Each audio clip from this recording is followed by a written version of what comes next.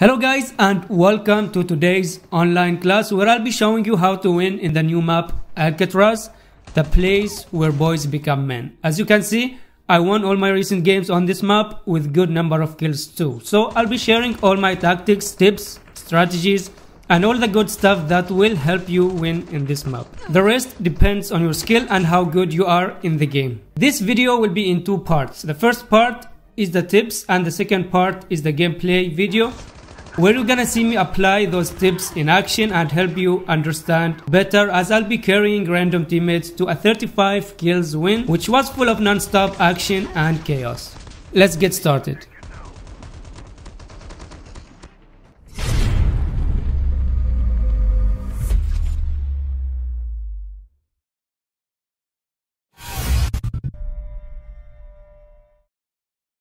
On this map, there are a total of 4 high tier loot areas and the building in the center called Cell House is always a high tier loot area. That's why it's my favorite place to land. Landing in any of these places will give you some really good loot. At the same time, you need to be ready to fight because many enemies will be waiting for you there. Alternatively, you can land on the other areas to avoid fights. But honestly guys, if you're gonna play Alcatraz, then you should go all in and play aggressively because this map is perfect to improve your skills like fighting in close range and awareness. You will be forced to fight multiple enemies at the same time without your favorite class to help. And most of the time you won't even find a class, so being in these tough situations will really improve your gameplay. Also, you get 5 chances to respawn without worrying about your teammates not scanning your dog tags. And if you're worried about losing rank or stats, then just create a new Smurf account and use it to practice. We're gonna use Cell House as an example because it's my favorite place and from my experience the fastest way to land is to make sure that you open your parachute right on top of the spot you want to land at. In this case, I wanted to land in this corner. So I made sure that my parachute opens right on top of it. Also, I like to land in the corners like this one because this way I make sure that I don't get flanked from behind. That way I limit the chances of me getting killed. Another thing you need to worry about after landing is the camping snipers. You can find them in their natural habitats on this tower and on this tower. And they like to steal kills. They wait for you to knock an enemy and they finish them off. Then they try to kill you. Nothing's more satisfying than killing a camping sniper. But if you're gonna challenge a sniper, make sure to have a fast aim and keep moving left and right to make it hard for them to aim at you. And since they mostly won't have a vest, they will go down super fast.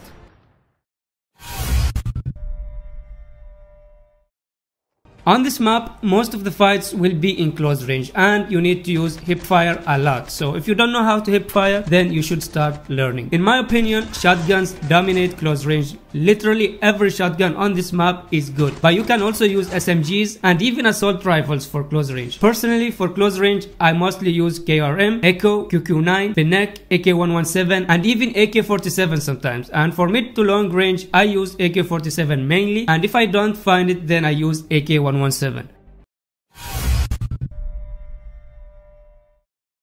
On this map, there are a total of 6 classes shown here, but recently they added Trickster and you can find it in airdrops. I'm not sure if it was intended or a mistake by the developers. The easiest way to find a class is to go under this tower here and if you're lucky you will find an upgrade right next to it. The best three classes for me are the Ninja, Medic and Smoke Bomber. Defender is also strong but I don't use it because I find it toxic. And you will notice that on the game I played later on this video, I had it but I never used it. Also in my last video I mentioned that the Defender had a glitch that makes your buttons disappear after you use it. I'm not sure if it still happens but I think they fixed it.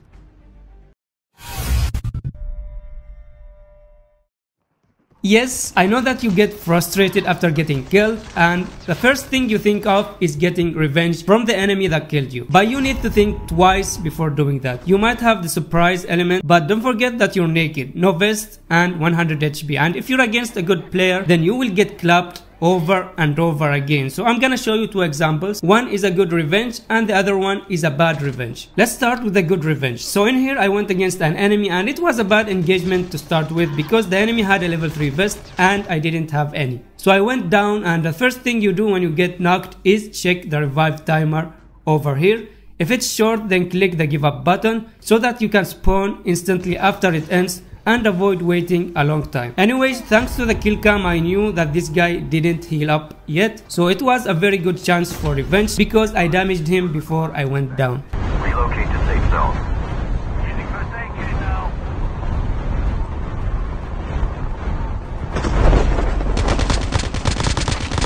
Enemy eliminated. Oh God, it's so good. Mmm, mmm, so good. Moving on to the bad revenge example, which is by the same player I just killed. So after I killed him again, I checked the revive timer and I noticed it's also at 8 seconds. And I knew 100% that this guy will come back for his own revenge too. So right away, I hit up and I checked the sky and guess what? It's your boy flying to his death. In general, always try to keep an eye on the revive timer, especially after killing enemies and once it ends, take a quick peek at the sky and see if anyone's trying to backstab you or avenge their death. By the way, that guy I killed kept coming back, but he got clapped every single time. The question here, what are you supposed to do if you can't revenge? Well, you have two options. The first one is to land in a quiet place that isn't high tier and find some loot and get ready to fight.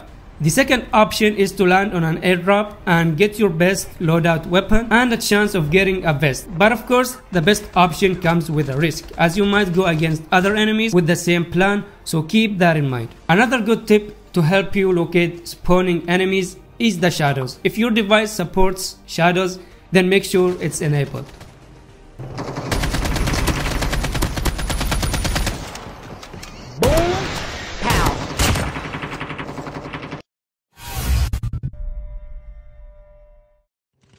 Since this map is very small, there will always be action wherever you go and it's important to keep moving. If you knock an enemy, check your surroundings before you finish him off and make sure there are no other enemies around. Not only you will waste valuable time finishing him off, but you will also waste ammo and if you go against another enemy, which happens a lot by the way, you will be forced to reload and it might get you killed. Another two important skills that everyone needs to learn are drop shotting and jump shotting. For me personally, I mostly use drop shotting when I'm 1v1 because it will help you kill the enemy in front of you but at the same time during that you're basically a sitting duck and an easy target for other enemies in the same area. So when I know that I'm against more than one enemy I use jump shotting or sideways movement as I find them more effective against multiple enemies. But anyways, both are skills that every player needs to learn and Alcatraz is a perfect map to help you practice them.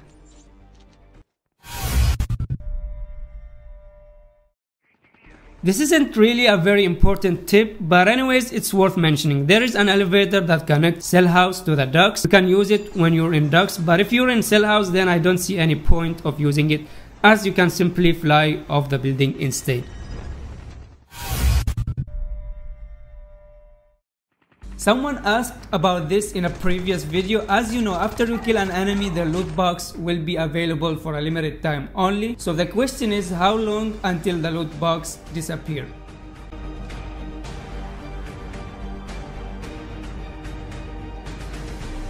The answer is it takes 20 seconds for it to disappear. So if you get killed and you had good loot, then you can go back to your loot box if you have enough time and you can get your loot back. That was the first part of the video. Now we will move on to the second part, which is the intense 35 kills gameplay. And during that, there will be a few extra subtitle tips here and there. I'm gonna stop talking now and I'll let you guys enjoy the rest of the video.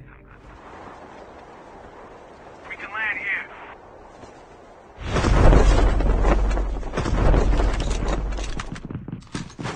No!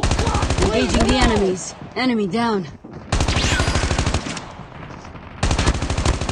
Changing mag.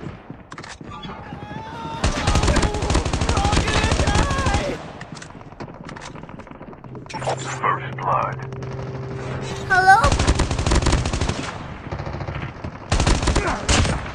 Enemy eliminated. Be advised, further collapse expected. Relocate to safe zone.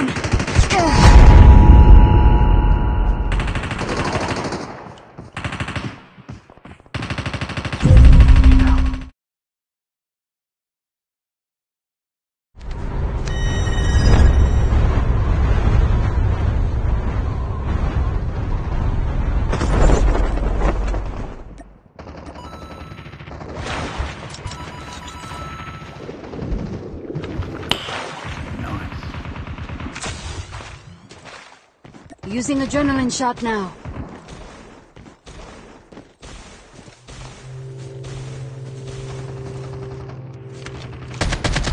Enemy down. Enemy eliminated. Changing mag, cover me.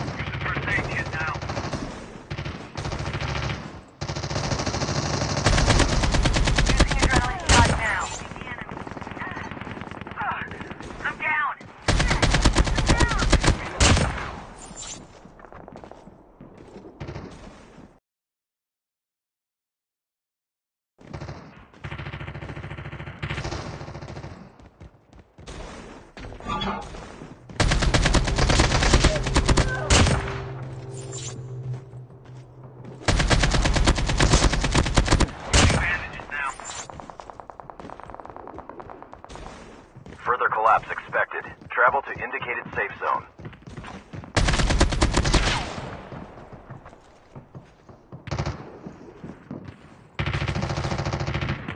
Engaging the enemies. Surprise!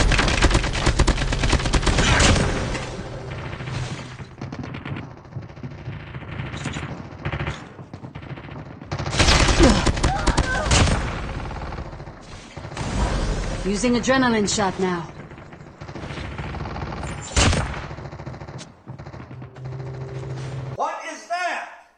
I'm just not gonna move. If I don't move, they won't see me.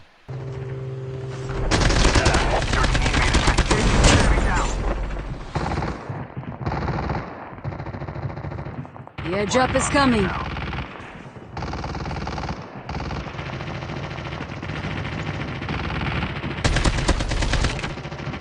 teammate has been killed.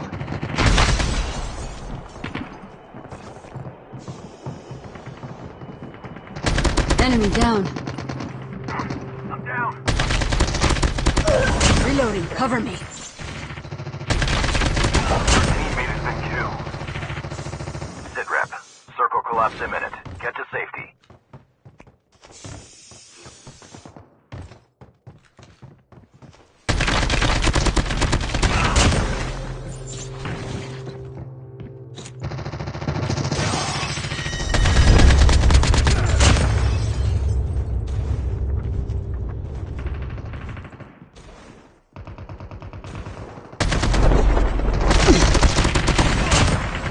Using adrenaline shot now.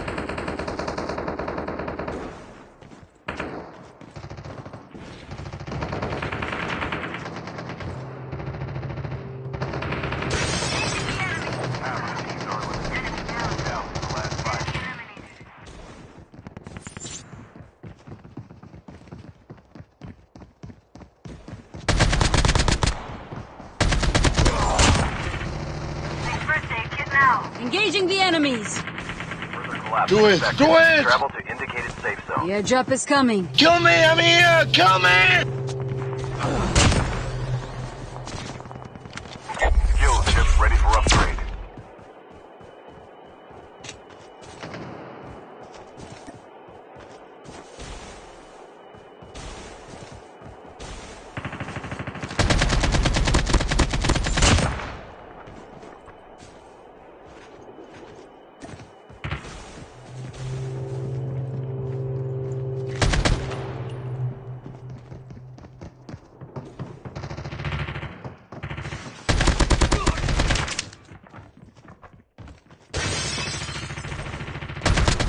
Is coming.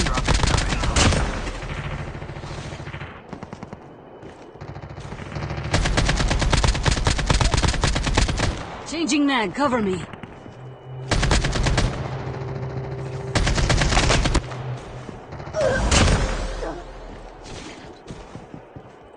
Your teammate has been killed.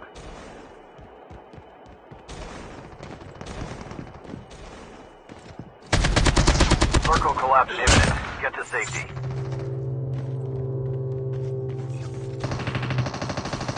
Your teammate has been killed.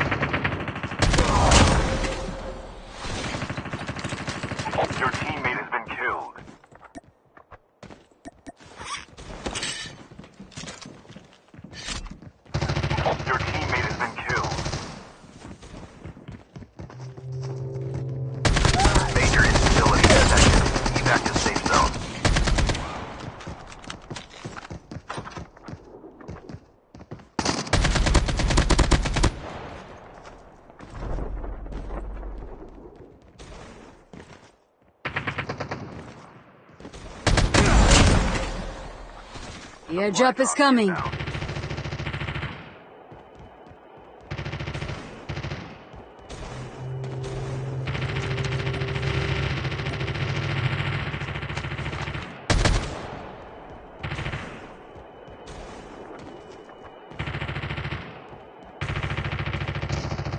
airdrop is coming. Sit rep. Circle collapse imminent. Get to safety. Reloading, cover me.